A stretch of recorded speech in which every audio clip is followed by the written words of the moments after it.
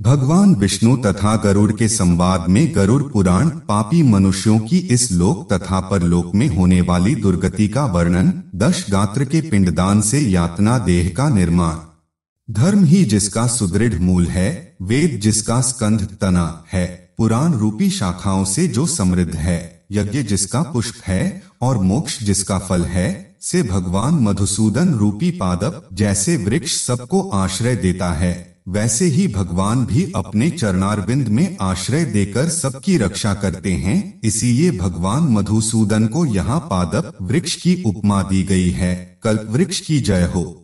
देव क्षेत्र नैमिषारण्य में स्वर्ग लोक की प्राप्ति की कामना से शौनकादि ऋषियों ने एक बार सहस्त्र वर्ष में पूर्ण होने वाला यज्ञ प्रारंभ किया।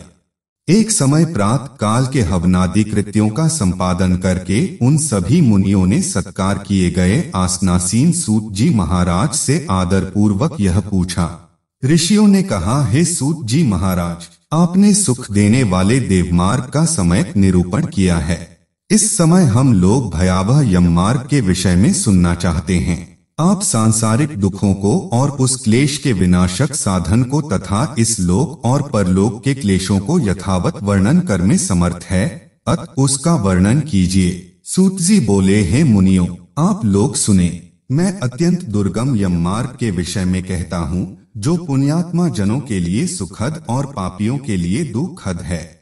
गरुड़ जी के पूछने पर भगवान विष्णु ने उनसे जैसा कुछ कहा था। मैं उसी प्रकार आप लोगों के संदेह की निवृत्ति के लिए कहूँगा। किसी समय वैकुंठ में सुखपूर्वक विराजमान परम गुरु श्रीहरि से विंता पुत्र गरुड़ जी ने विनय से झुककर पूछा। गरुड़ जी ने कहा, हे दे आपने भक्ति मार्ग का अनेक प्रकार से मेरे समक्ष वर्णन किया है और भक्तों को प्राप्त होने वाली उत्तम गति के विषय में भी कहा है। अब हम भयंकर यम मार्ग के विषय में सुनना चाहते हैं। हमने सुना है कि आपकी भक्ति से विमुख प्राणी वहीं नरक में जाते हैं। भगवान का नाम सुगमता पूर्वक लिया जा सकता है। जिहवा प्राणी के अपने वश में है तो भी लोग नरक में जाते हैं, से अधम मनुष्यों को बार बार धिक्कार है। इसलिए हे भगवान, पापियों को जो गति प्राप्त होती है, तथा यम मार्ग में जैसे वे अनेक प्रकार के दुख प्राप्त करते हैं, उसे आप मुझसे कहें। श्री भगवान बोले, हे पक्षींद्र सुनो मैं उस यम मार्ग के विषय में कहता हूँ जिस मार्ग से पापी जन नरक की यात्रा करते हैं और जो सुनने वालों के लिए भी भयावह है। हे ताक्षर जो प्राणी सदा पाप परायण है दया और धर्म से रहित हैं, जो दुष्ट लोगों की संगति में रहते हैं सत्शास्त्र और सत्संगति से विमुख है जो अपने को स्वयं प्रतिष्ठित मानते हैं अहंकारी हैं तथा धन और मान के मद से चूर हैं। आसुरी शक्ति को प्राप्त हैं तथा दैवी संपत्ति से रहित हैं, जिनका चित्त अनेक विषयों में आसक्त होने से भ्रांत हैं, जो मोह के जाल में फंसे हैं और कामनाओं के भोग में ही लगे हैं, से व्यक्ति अपवित्र नरक में गिरते हैं। जो लोग ज्ञानशील हैं, वे परम गति को प्राप्त होते हैं। पापी मनुष्य दुख पूर्वक यम यातना प्राप्त करते हैं। पापियों को इस लोक में जैसे दुख की प्राप्ति होती है और मृत्यु के पश्चात वे जैसी यम यातना को प्राप्त होते हैं, उसे सुनो। यथोपार्जित पुण्य और पाप के फलों को पूर्व में भोग कर कर्म के संबंध से उसे कोई शारीरिक रोग हो जाता है। आधि मानसिक रोग और व्याधि शारीरिक रोग से युक्त तथा जीवन धारण करने की आशा से उत्कंठित उस व्यक्ति की जानकारी के बिना ही सर्प की भांति बलवान काल उसके समीप आ पहुँचता है। उस मृत्यु की संप्राप्ति की स्थिति में भी उसे वैराग्य नहीं होता। उसने जिनका भरण पोषण किया था, उन्हीं के द्वारा उसका भरण पोषण होता है। वृद्धावस्था के कारण विकृत रूप वाला और मरणाभिमुख वह व्यक्ति घर में अवमानना पूर्वक दी हुई वस्तुओं को कुत्ते की भांति खाता हुआ जीवन व्यतीत करता है। वह रोगी हो जाता है, उसे मंदाग्नि हो जाती है और उसका आहार तथा उसकी सभी चेष्टाएँ कम हो जाती हैं। प्राण वायु के बाहर निकलते समय आँखें उलट जाती हैं, नाड़ियाँ कफ से रुक जाती हैं, उसे खांसी और श्वास लेने में प्रयत्न करना पड़ता है तथा कंठ से घुर घुर से शब्द निकलने लगते हैं। चिंतामग्न स्वजनों से घिरा हुआ तथा सोया हुआ वह व्यक्ति कालपाश के वशीभूत होने के कारण बुलाने पर भी नहीं बोलता। इस प्रकार कुटुंब के भरण पोषण में ही निरंतर लगा रहने वाला अजितेंद्रिय व्यक्ति अंत में रोते बिलखते बंधु बांधवों के बीच उत्कट वेदना से संज्ञा शून्य होकर मर जाता है। हे गरुड़ उस अंतिम क्षण में प्राणी को व्यापक दिव्य दृष्टि प्राप्त हो जाती है जिससे वह लोक पर लोक को एकत्र देखने लगता है। अत चकित होकर वह कुछ भी नहीं कहना चाहता। यमदूतों के समीप आने पर भी सभी इंद्रियाँ विकल हो जाती हैं, चेतना जड़ीभूत हो जाती है और प्राण चलायमान हो जाते हैं। आतुरकाल में प्राण वायु के अपने स्थान से चल देने पर एक क्षण भी एक कल्प के समान प्रतीत होता है और सौ बिच्छुओं के डंक मारने जैसी पीड़ा होती है। वैसी पीड़ा का उस समय उसे अनुभव होने लगता है।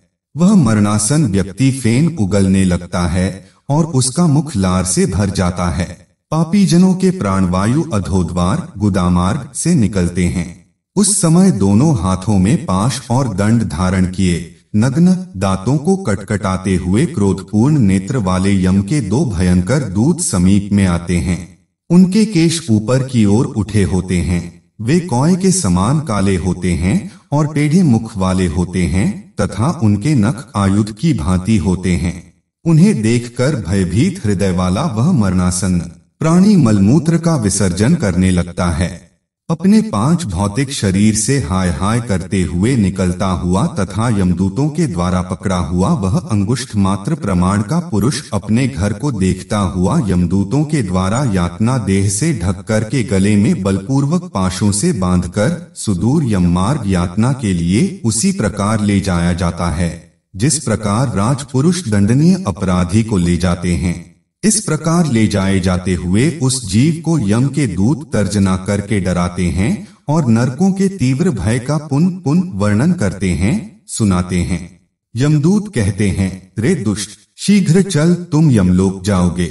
आज तुम्हें हम सब कुंभी पाक आदि नरकों में शीघ्र ही ले जाएँगे इस प्रकार यमदूतों की वाणी तथा बंधु बांधवों का रुदन सुनता हुआ वह जीव ज़ोर से हाहाकार करके विलाप करता है और यमदूतों के द्वारा प्रताड़ित किया जाता है। यमदूतों की तर्जनाओं से उसका हृदय विदीर्ण हो जाता है। वह कांपने लगता है। रास्ते में कुत्ते काटते हैं और अपने पापों का स्मरण करता हुआ वह पीड़ित जीव यम मार्ग में चलता है। भूख और प्यास से पीड़ित होकर सूर्य, दावाग्नि एवं वायु के झोंकों से संतृप्त होते हुए और यमदूतों के द्वारा पीठ पर कोड़े से पीटे जाते हुए उस जीव को तपी हुई बालुका से पूर्ण तथा विश्राम रहित और जल रहित मार्ग पर असमर्थ होते हुए भी बड़ी कठिनाई से चलना पड़ता है। थककर जगह जगह गिरता और मूर्छित होता हुआ वह पुन उठकर पापीजनों की भांति अंधकारपूर्ण यमलोक में ले जाया जाता है। दो अथवा तीन मुहूर्त में वह मनुष्य वहाँ पहुँचाया जाता है और यमदूत उसे घोर नरक यातनाओं को दिखाते हैं। मुहूर्त मात्र में यम को और नारकीय यातनाओं के भय को देखकर वह व्यक्ति यम की आज्ञा से आकाश मार्ग से यमदूतों के साथ पुन इस लोक, मनुष्य लोक में चला आता है। मनुष्य लोक में आकर आबादी वासना से बद्ध वह जीव देह में प्रविष्ट होने की इच्छा रखता है। किंतु यमदूतों द्वारा पकड़कर पाश में बाँध दिए जाने से भूख और प्यास से अत्यंत पीड़ित होकर रोता है। हे ताक्ष्य, वह पात की प्राणी पुत्रों से दिए हुए पिंड तथा आतुर काल में दिए हुए दान को प्राप्त करता है तो भी उस नास्तिक को तृप्ति नहीं होती। पुत्रादि के द्वारा पापियों के उद्देश्य से किए गए श्राद्ध, दान तथा जलांजलि उनके पास ठहरती नहीं। अत पिंडदान का भोग करने पर भी वे क्षुधा से व्याकुल होकर यम मार्ग में जाते हैं। जिनका पिंडदान नहीं होता, वे प्रेत रूप में होकर कल्प पर्यंत निर्जन वन में दुखी होकर भ्रमण करते रहते हैं। सैकड़ों करोड़ कल्प बीत जाने पर भी बिना भोग किए कर्म फल का नाश नहीं होता और जब तक वह पापी जीव यातनाओं का भोग नहीं कर लेता, तब तक उसे मनुष्य शरीर भी प्राप्त नहीं होता। हे पक्षी इसलिए पुत्र को चाहिए कि वह दस दिनों तक प्रतिदिन पिंडदान करे। हे पक्षी श्रेष्ठ वे पिंड प्रतिदिन चार भागों में विभक्त होते हैं। उनमें दो भाग तो प्रेत के देह के पंचभूतों की पुष्टि के लिए होते हैं। तीसरा भाग यमदूतों को प्राप्त होता है और चौथे भाग से उस जीव को आहार प्राप्त होता है। नौ रात दिनों में पिंड को प्राप्त करके प्रेत का शरीर बन जाता है और दसवें दिन उसमें बल की प्राप्ति होती है। हे खग, मृत व्यक्ति के देह के जल जाने पर पिंड के द्वारा पुनः एक हाथ लंबा शरीर प्राप्त होता है, जिसके द्वारा वह प्राणी यमलोक के रास्ते में शुभ और अशुभ कर्मों के फल को भोगता है। पहले दिन जो पिंड दिया जाता है, उससे उसका सिर बनता है, दूसरे दिन के पिंड से ग्रीवा, गर्दन और स्कंध कंधे तथा तीसरे पिंड से हृदय बनता है। चौथे पिंड से पृष्ठभाग, पीठ, पाँचवें से नाभि, छठे तथा सातवें पिंड से क्रमश कटी, कमर और गुहियान उत्पन्न होते हैं आठवें पिंड से उरु, जांघें, और नवे पिंड से जानू, घुटने तथा पैर बनते हैं इस प्रकार नौ पिंडों से देह को प्राप्त करके दसवें पिंड से उसकी क्षुधा और त्रिषा भूख, प्यास, ये दोनों जागृत होती हैं। इस पिंडज शरीर को प्राप्त करके भूख और प्यास से पीड़ित जीव ग्यारहवें तथा बारहवें दो दिन भोजन करता है। तेरहवें दिन यमदूतों के द्वारा बंदर की तरह बंधा हुआ वह प्राणी अकेला उस यम मार्ग में जाता है। हे खग, मार्ग में मिलने वाली वैतरणी को छोड़कर यमलोक के मार्ग की दूरी का प्रमाण छियासी हज़ार योजन है। वह प्रेत प्रतिदिन रात दिन में दो योजन चलता है। मार्ग में आए हुए इन सोलह पुरों नगर को पार करके पात की व्यक्ति धर्मराज के भवन में जाता है। एक सौम्यपुर, दो सौरीपुर, तीन नगेंद्र भवन चार गंधर्वपुर, पाँच शैलागम, छह क्रौचपुर, सात क्रूरपुर, आठ विचित्र भवन नौ बहवापतपुर, दस दुखदपुर, ग्यारह नानाक्रंदपुर बारह सुतप्त भवन तेरह रौद्रपुर, चौदह पयोवर्षणपुर, पंद्रह शीताढ़पुर तथा सोलह बहुभीतिपुर को पार करके इनके आगे यमपुरी में धर्मराज का भवन स्थित है। यमराज के दूतों के पाशों से बंधा हुआ पापी जीव रास्ते भर हाहाकार करता, रोता हुआ अपने घर को छोड़ करके यमपुरी को जाता है। इस प्रकार गरुड़ पुराण के अंतर्गत सारोद्धार में पापियों के इस लोक तथा परलोक के दुख का निरूपण नामक पहला अध्याय पूर्ण हुआ।